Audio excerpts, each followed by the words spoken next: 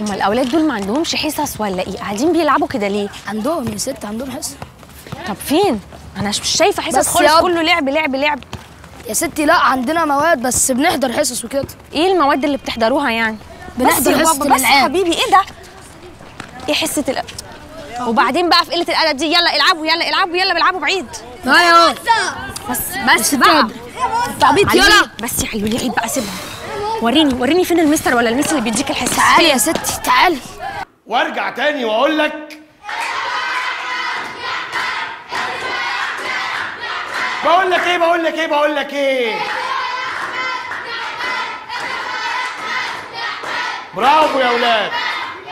بس ناخد بقى النشيد اللي بعد كده. يا مستر يا مستر أحمد. ثواني يا ولاد. إيه يا انسه إيه يا انسه قلتي مزاجنا حرام عليكي؟ إيه اللي حضرتك بتعمله ده؟ بدل ما تشاركينا فرحتنا إحنا بنحتفل حضرتك. بتحتفلوا بإيه؟ حضرتك عامل حفلة؟ عامل party في الفصل؟ آه party يعني حفلة يا ولاد اكتبها يا أحمد. آه حضرتك ده حفلة أوائل الطلبة على مستوى المدرسة.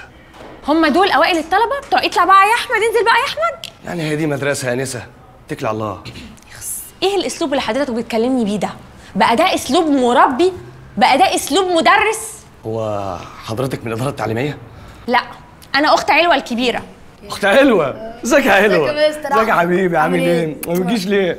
ما بحبش خد أختك بقى واتكل على الله. اتكل على الله يا نسا. اخس اخس يا مربي يا فاضل اخس. أنا كلامي مش هيبقى معاك هيبقى مع المدير بتاعك. ده لو لقيتيه فاضي اتكل على الله.